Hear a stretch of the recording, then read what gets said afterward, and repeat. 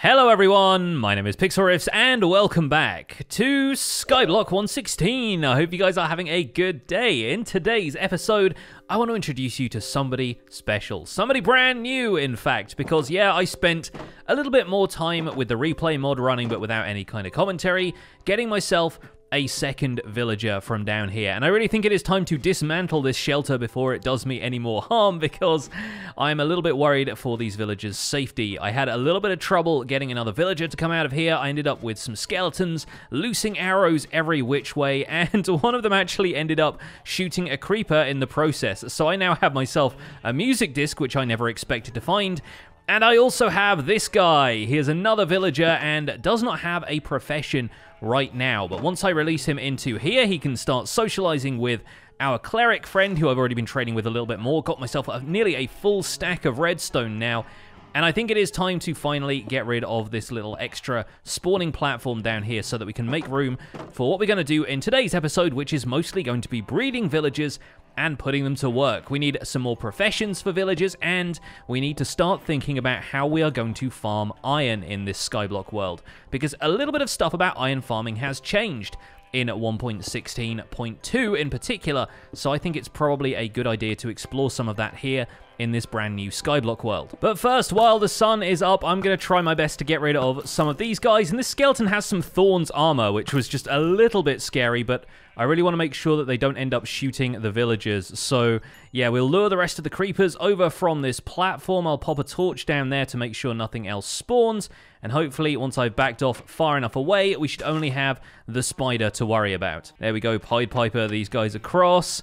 Hopefully none of them should start to set alight. There we go. And we have one zombie who's apparently going to deliver me a potion of healing, which is actually going to be a good thing to have around if I can get that off of him. Yes, there we go kept it on the bridge. Uh, at this point, we can probably advance our way over here. I'll pop down another torch inside of this, and it's time to say goodbye to our little mob spawner for now. We will, of course, want to get a zombie into the iron farm if we want to have something threatening the villagers, because that's still very much part of iron production, but I think we need to make sure we don't have any more unwanted mobs down here, and we'll always be able to grab another mob out of the mob spawner over there if we need to, or just set up a temporary platform. We can get a zombie nice and easily. Zombie villagers have been a little bit difficult to come by, but I'm glad we've got ourselves two now.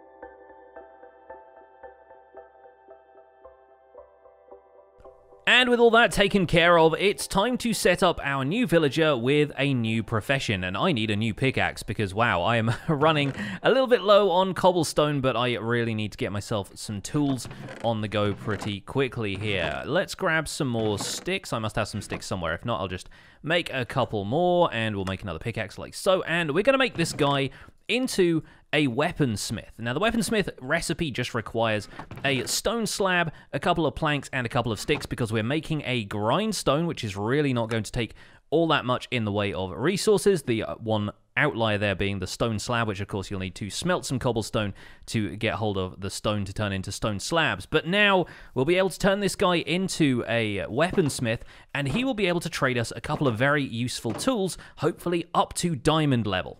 And now the difficulty is really getting hold of enough emeralds that we can actually make this guy's trades work. Because the other thing he will trade is coal, and coal can only be gotten from wither skeletons. So it's going to be a little bit difficult to get hold of this much coal, and he won't accept charcoal as a substitute. We could always re-roll his early trades, though, just to see if he ends up giving us something a little bit less pricey. Let's try that one more time, see how we go. There we go, that's what we're talking about. An iron axe for one emerald, no enchantment, but a nice easy trade to get us through that novice level. And once we've traded a few very, very useful iron axes, I might end up using these as weapons instead of the stone sword. And if I can spare the sweep attack, of course, there we go. We've got him through novice level and into whatever lies beyond. And now he's trading one iron ingot for emeralds, a trade which will be very useful later and we can start buying bells off of him. Won't be all that useful to us immediately, but that will get us through the next tier of trades if we have a scarcity of iron. In the meantime, though, we can smelt down some of these iron axes into iron nuggets, and getting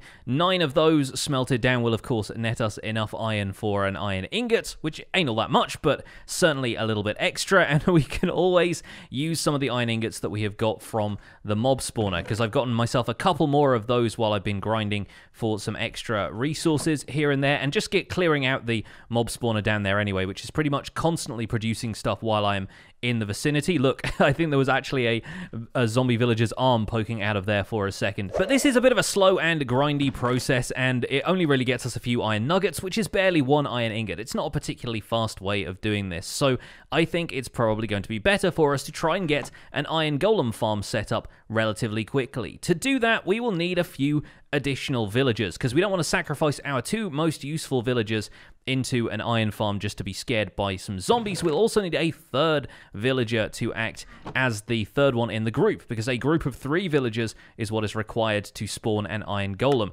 So we're going to need to breed up some villagers and for that we'll need to make a decent handful of beds. So I'm going to craft up a few of these and we're going to lay out an area down at the bottom of the world next to the animal pens for now, but we're going to move some of the villagers up here to this level in future, and we need to figure out a place for them to stay. I'm also going to be building this partly out of bone blocks, and this, this, might seem a little bit macabre, but really, with the amount of bones we have, I'm not going to need that much bone meal, really, and bone blocks are in abundant supply. All you need to do is break down the bones into bone meal, which we'll probably just do manually like that, and that will make you, you know, 21 or so bone blocks. Three stacks of bones gets you a full stack of bone blocks, and that is a pretty useful way of providing a lot of blocks when you don't necessarily want to grind for wood and stuff all the time. So one of the main concerns I have setting up this villager breeder is making sure it's in an area where slimes don't spawn, because once again, we need to make sure that slimes are not going to interrupt this. They won't attack the villagers, but they might present a bit of a problem for us. And since we didn't get any slimes spawning when we set up a temporary hostile mob spawner here, I can be fairly confident that this area is going to be free of slime spawns. So I think we'll just set up a nice little area here. We can expand this as needed, but we'll start out with some bone blocks, which make a delightful noise now. I'm going to set up a series of fences around the outside here to make sure the villagers don't do their weird AI thing and end up wandering off the platform or pushing each other off by mistake. And then in the center over here where these bone blocks are, we're just going to lay out a bunch of beds at reasonable distance right now, but we can always uh, fill this area up with more beds if we need to. The trick is to make sure that we don't end up giving the villagers a way of getting up onto the fences around the outside, which workstation blocks, of course, will, and beds can potentially give them something they could use to walk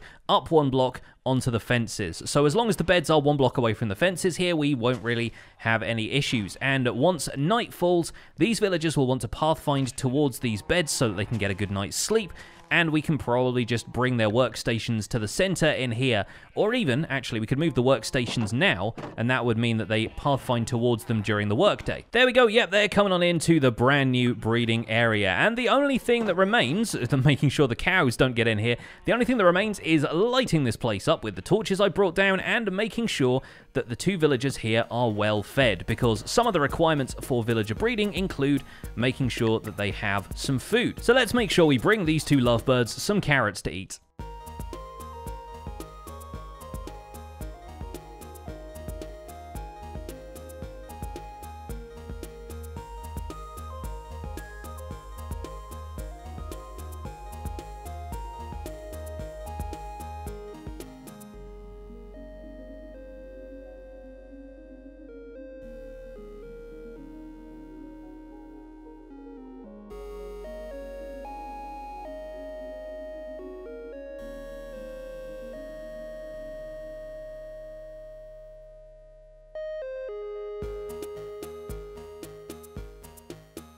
Oh, and I come downstairs just to check on them, and uh, we have another family member sleeping in the beds. I was spending a little bit more time off camera grinding for resources. I gave them a few more carrots just in case that would help them along the way, and it seems like it has. So I'm going to claim one of these beds down here for myself just so I can get some sleep, and we're going to trade a couple more iron ingots to our friend the weaponsmith here because that's going to get him a little bit further along this progression track and hopefully we'll start to unlock some better tools that I don't have to worry too much about smelting down some more iron axes for. But at least we get the chance to trade a couple more of those. It's really filling up very little of the XP bar at this point, and buying bells or selling iron ingots is definitely going to be the way forward. I'm also completely out of rotten flesh to trade to the cleric, but that's fine because the cleric is now a master and is trading me things like ender pearls glowstone, and even bottles of enchanting if I want them. This little lad right here, though, is possibly the most important thing right now. Our third villager means we have the opportunity to make an iron farm if we want to, but I'm going to spend a little bit more time making sure they breed a few more villagers. We want to be filling all of these beds, mostly so that we can play around with the professions, but also so that we have a few villagers that we can put into an iron farm where they'll be producing iron golems for the foreseeable future. And out of all of the professions, there are a few we're going to be avoiding for now. Take, for example, the fisherman, the, the barrel workstation. It could potentially be worth having a fisherman around in the fullness of time, but for now, we can't really trade any fish to them because I haven't set up a space to fish. It's something I plan to do in a future episode, but not doing any of that right now. Likewise, we could get a shepherd, but the wool trade is going to be fairly expensive given the amount of sheep that we have right now, and there are other priorities. The ones that would be really useful to me right now, but are going to have to wait until I get an iron farm on the go, are a smithing table and a blast furnace, both of which require iron. Useful though it would be to have a toolsmith and an armorer, we simply can't spare the supplies for the moment. And I think we will probably end up doing a little bit more of that once we have both an iron golem farm and a wither skeleton farm in the nether because that will allow us to get a decent amount of coal to trade with the blacksmith professions. In the meantime, now that we have a cow farm and a sugarcane farm, though, we can, of course, make a lectern that will give us a librarian. The librarian will trade us some paper for easy emeralds, and we should be able to buy a few enchanted books from them. Right now, I didn't want to go for a librarian right away because I don't have any means to apply the enchanted books to my gear until we get an anvil, but that should be solved by setting up an iron farm later in this episode anyway, so hopefully we shouldn't have too long to wait before we do that. And of course, there'll be a few other basic professions that will benefit from some of the stuff we're able to gather at this stage in the game, like a butcher, for example, who'll be able to trade us emeralds for raw beef and raw pork. If we were to spawn any pigs down here, that would be kind of helpful as well. We could get a leather worker to trade leather with from the cow farm, and there are a few other professions which would be pretty useful to us at this stage. But we want to focus on the stuff that is difficult or near impossible to get in Skyblock in the state that we are right now. Things like better quality tools and ultimately iron. So that our lad here grows up into a librarian, I'm going to pop down a lectern over here and hopefully we should get some good trades out of him. If not, we can always re-roll the trades by breaking and replacing the lectern. I'm not saying, oh, hello, you were hiding another one. There we go. We've got a fourth child now, or at least a fourth villager, a second child right now. So hopefully we should end up getting a few more within the course of this episode. We can play around with their professions, but I think the next step is going to be heading up to the top of the world and setting up an iron farm. Okay, I've got some good news for you. We have a whole lot of villagers down there now, including one librarian, and you'll notice they've made a friend. We have an iron golem in their midst already, which is quite interesting. I didn't realize that the villagers would just make one on their own, but they did seem to do that quite frequently in my previous Skyblock world. So I guess they don't necessarily have to be frightened in order to produce an iron golem. It's just conducive to producing them more frequently, I guess. So now, we have an Iron Golem right here amidst all of these jumping villagers, and we could dispose of this Iron Golem in the way that we always have done with having it walk over a campfire in the previous Skyblock world. But I think it's probably fairly soon going to be time to start moving some of these unemployed villagers up to an area that's going to be a more permanent iron farm. And iron farms are going to look a little bit different in this version of the game, and it looks like, yeah, they've reached capacity. You can tell from the thunder clouds above their heads that they're no longer going to be able to produce any more villagers. So we need to figure out a way of getting them further up in the world because the way we're going to structure this Iron Golem farm, excuse me, mate, probably don't want to say this within earshot of the existing Iron Golem, we're going to have them fall from height just so that the villagers get the Iron Golem out of their vicinity as quickly as possible, and that should hopefully mean they produce Iron Golems more quickly. And we're going to do that by means of a Soul Sand Bubble Column Elevator, thanks to the fact that we already have some soul sand that we got from the nether fortress in a previous episode. We're also going to be able to use the soul sand for one other purpose, and that is to create a soul campfire. Instead of using charcoal here, we can use soul sand, and we get a soul campfire, which actually does damage twice as fast as a regular campfire does. Being unable to use lava right now because we only have one lava source here and one in the nether, which I'm planning on keeping in the nether for a basalt generator, a soul campfire is going to be a pretty easy way of doing large amounts of damage to any iron golems that fall in here. We used regular campfires in the previous iron farm in the previous Skyblock series and it turned out pretty well, so we'll keep that up here until we need it, and in the meantime, we can get started on building a bubble elevator. And I'm going to do that using bone blocks once again because I have quite a few of them at this point. I am going to place this soul sand off to one side from the villager breeding area, and we are going to have that on top of a block, simply because I don't know quite how we're going to get hold of more soul sand. I don't know if wither skeletons drop it, or if we're going to end up bartering with some more piglins for that. But now, we should just be able to build up some bone blocks around the outside. I guess we'll probably just take out those corner blocks now, and we'll build up a column up here. We'll have a couple of fence gates in front of that to keep the water in. And now that we're able to bone meal kelp to grow it, we should just be able to get a single piece of kelp, fill this entire column with water sources, break the kelp again, and the bubble column elevator will be complete. We're going to come out a few blocks from this so that we can start building up the area with beds, and I'll pop a torch or two up here just to make sure that we don't end up with anything spawning until we need it. We'll come out a couple more blocks in this direction, set up the zombie cell, set up the villager cells, and from there, we can work on the rest of this. And you might be wondering where exactly we're going to get kelp from in this skyblock map with no immediate oceans around us, and the answer to that is from seagrass. The author of the map has included a crafting recipe that allows seagrass to be combined in a 2x2 crafting interface to make a single piece of kelp. A modified crafting recipe, but it does allow us to get hold of kelp, which is going to make this job one heck of a lot easier. Okay, all of the bone blocks are in place. I can drop a bucket of water down here, and all of these flowing water sources are going to be contained. There we go. Yeah, we've made it. Now, I don't think we can plant kelp on Soul Sand, even though the block space of Soul Sand has been changed slightly. Oh, we can now. That's something we couldn't do before. All right, and now here's something else we couldn't do before. Grow kelp all the way to the top of this. And now once we remove that, we should get that bubble column effect kicking in, and that will propel us all the way to the top of here, or close enough to the top of here. Looks like I didn't quite make it all the way to the top there. No worries, though. We can get down by targeting the beds. Boing!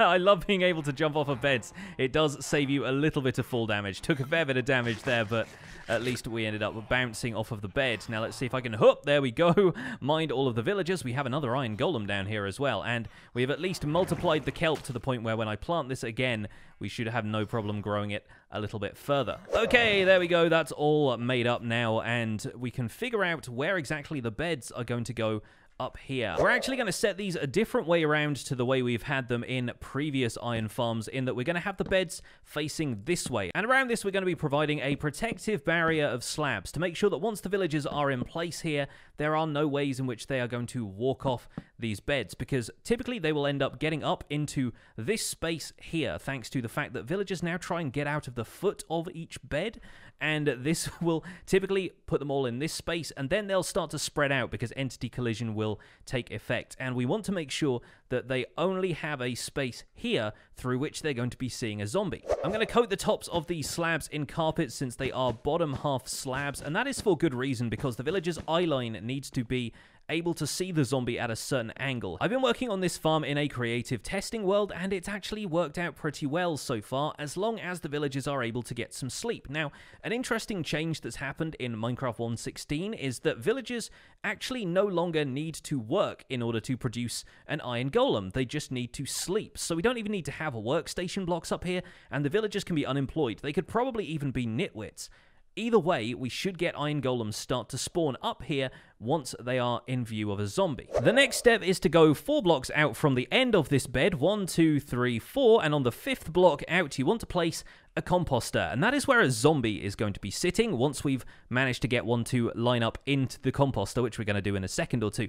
That is going to be kind of crucial to this whole design, and having a block above it here is going to mean something kind of significant because the zombie is going to be standing in this composter and its eye line should always be scanning over here looking at the villagers. However, the villagers may not be able to see the zombie 100% of the time because they will typically be standing on top of one of these beds.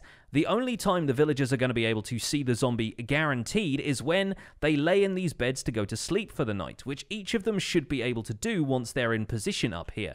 We're going to take out these blocks in between the villagers and the zombie, of course, so the zombie is going to be standing suspended in this cauldron, and the villagers are going to be standing over here with no blocks in between them and the zombie, and they should just mill around inside of here, producing an iron golem on any nearby solid blocks, which as per usual, are going to be a platform above here which will start spawning iron golems. Then, redirecting it off with a water stream, the golems should fall down at the moment into the void, but once we figure out exactly where they're going to be falling, we should be able to catch them in a trap that's going to lead them to that soul campfire. Of course, our next step here is going to be A, to spawn a zombie, and then B, to get the zombie into this composter, which is going to be easier said than done, but I have faith that we can make it work. The idea here is that we're going to be setting up a spawning platform over there in the darkness, and we'll put a trapdoor on top of the cauldron so it feels like the zombie can get to us. Once the zombie spawns over here, it should try and walk towards us because it will see this trapdoor as a transparent block,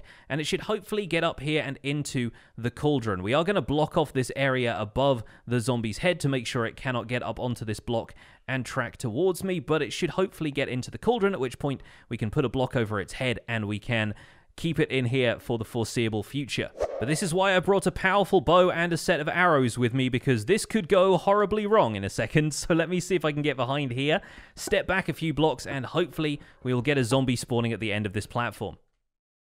Okay, we have a zombie. This is our first test. It's taken a while for him to get here. Looks like he is trying to get in the composter, though. All right, he's in. He's in the composter now, and he is holding an item, which is great. All I should need to do is try and get a slab above his head, for which I will definitely need to craft up an oak slab like so. And let's see if we can get this in while he is... Oh, come on. Yes, there we go. All right, I think right there, our zombie is in. That was pretty painless, actually. That really did not take all that long at all. So this zombie should now be able to see any villagers that are in this area, and the villagers will be able to see the zombie if they are standing on the beds. However, if we put a block there, that should block the villagers' sight lines to the zombie, because the villagers will start to look around horizontally and they won't see the body of the zombie. They'll only start to get worried about it when they are in the beds because the beds will actually kind of drop them down so that their eye lines are level with the zombie. Now I guess I just have to get around the zombie and deal with all of these other mobs that have decided to spawn over there in the meantime, but that shouldn't be a huge problem. Just got to make sure I go around the reach of the zombie because zombies do have quite the reach and they could potentially knock me off into the void if I'm not careful. I'll place a few more torches over here just to make sure that this whole area is lit up and we don't get any spawns. In the meantime, perfect. Okay, now let's knock out the rest of these bridge blocks. I was very, very lucky that that zombie is one that holds items, though. Otherwise, we could have been here for a lot longer. The next step is to build this 5x5 platform of bottom half slabs with a row of fence gates around the outside. And what this is going to do is prevent the iron golem from moving off the front of the platform. Instead, the water is going to push it towards the back corner of the platform where it's going to drop off right now into the void, but then ultimately into an area that's going to contain the soul campfire. And I'm going to leave one block out of this here just so I can place that when I'm on my way out. And I'm going to temporarily place a fence there to attach the fence gates to, which I've had to make out of spruce wood because I was running low on oak. But basically, we're going to have to remove that fence gate there because the iron golem can get caught on this transition between the fence and the fence gate. Once the fence gates are open, the iron golem can be pushed through, but the water will be held back. And now this is the somewhat tricky part where we have to place a water source flowing across these slabs. You could make some of these full blocks if you wanted to, but like I said, I am a little bit wary of blocking the zombies field of view until we want to. So I'm going to take out this slab here, replace that with a fence gate. I'm going to place a slab there and waterlog it. There we go. And now when we break that slab, the water will still flow in that direction, and it should flow so that the iron golem leaves the platform. Looks like maybe when I tested this, I made it 5x4 instead of 5x5, so maybe we should take out that last section there. Okay, we'll do the same thing again. We'll place a slab there. We'll waterlog the slab. Hopefully all the water should flow to that corner. Fantastic. Okay, and underneath that corner is where we're going to be building the fire pit that's going to contain the campfire that will be cooking these iron golems and reducing them into iron scrap. And like I said, for the moment, we are going to be placing a block here, basically directly underneath that fence post, and that's going to limit the line of sight of the zombie from the villagers. Once the villagers are in here, standing on top of these beds, for whatever reason, their horizontal field of view will not detect the zombie, and they should be able to go to sleep during the night, at which point they'll become frightened and they'll get right out of bed again, ready to summon some more iron golems. Last of all, I'm going to knock out these bone blocks underneath the beds because I have a feeling they might still affect the villagers' positioning when they wake up. In the morning, I need to add this slab back in that I've been breaking every time I need to get into or out of this contraption, and we'll add the carpet back onto that slab at the front. There we go. Okay, now all I need to do is convince some villagers to get up here into these beds, and that's going to be a little bit tricky to do with the zombie right there, but I have a feeling the zombie's line of sight might be enough blocked off that they will willingly get into the beds in this area. It's always a little difficult wrangling villagers though, so we might just try and drop them in from the top using a water stream. So let me hop on down here. Whoa! always take a lot of fall damage at that point. But then we should be able to open this up and see if a couple of our villagers wander in. Right now, they are all making their way to their beds, but if I break a couple of these out of their beds, like so, I wonder if they'll start trying to pathfind to the beds up there, or if they'll consider them a little bit too far away. Either way, I should just be able to try and push them in, and hopefully we'll be able to get more than a couple of them into this area here.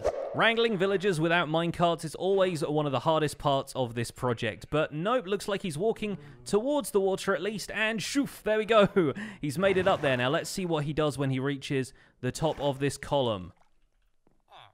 Looks like he's definitely imprinted himself on one of the beds, which means he should be stuck in there for good right about now. Excellent. And it looks like the bed has had the intended effect. He's gotten out of bed immediately because he realizes the zombie is there. So that's good news for us. Back down to the bottom of the world, and wow, that guy did not mind me jumping on his face, I guess. for attempt number two, let's take this guy out of his bed. Let's pop another bed over here as we did before. His friend over here has decided to take the bait. We're going to block him in, break the bed again, and once again, you have nowhere to go but the water stream. Once he gets up to the top of the platform, he should pick another one of those beds as well. And finally, villager number three, come on down. This is a little bit awkward, but we are three for three right now. Let's follow this guy up and make sure we take out those bone blocks at the very top here, and hopefully we should be in business without iron farm. Okay, those green particles mean he has paired with one of the beds. We can remove this block, this block, this block, and the adjacent blocks, and hopefully we should start to see some iron golems spawning in the water over there. Yes, we've done it. You see that? We've got an iron golem spawning, and it's falling into the void now, and hopefully we should start to see more iron golems spawning in this space. As with most iron farms, this is going to take a second or two to warm up to full capacity. The villagers need to sleep, they need to make sure they wake up again in the morning, and hopefully they should try and sleep throughout the night, even though the zombie is over there. We should start to see them getting up in the morning and spreading out from this central block here, and we should start to see iron golems pouring out of this farm. We will only need a few at a time to start off with, of course, because we only need a small supply of iron to really get going, but it's going to be great to have an iron farm in this world at long last. So let's go and set up the last stage of the farm, which is going to be a platform down here to collect the iron thanks to a soul campfire.